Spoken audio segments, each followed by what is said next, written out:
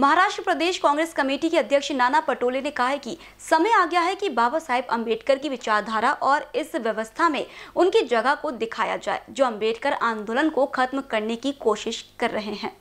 वह तिलक भवन में महाराष्ट्र प्रदेश कांग्रेस अनुसूचित जाति विभाग के अध्यक्ष सिद्धार्थ हट्टी अंबीरे के उद्घाटन समारोह में बोल रहे थे। लोक कल्याण राज्य मंत्री विजय वड़टिटवार, शिक्षा मंत्री वर्षा गायकवाड़, राज्य मंत्री डॉक्टर विश्वजीत कदम, ए राजेश राठौर, प्रदेश उपाध्यक्ष संजय राठौर, भाई ए नागराले, शरद अहिर विजय अंभोरे, महासचिव और मुख्य प्रवक्ता अतुल लोंधे, प्रभारी मनोज बागड़ी, प्रदेश महासचिव जितेंद्र देहाड़े, हेमंत ओगले, अमर खानापुरे, युवा कांग्रेस के प्रदेश उपाध्यक्ष कुणाल राउत, शिवानी बड़े टिटवार और अन्य पदाधिकारियों, कार्यकर्ता उपस्थित थे।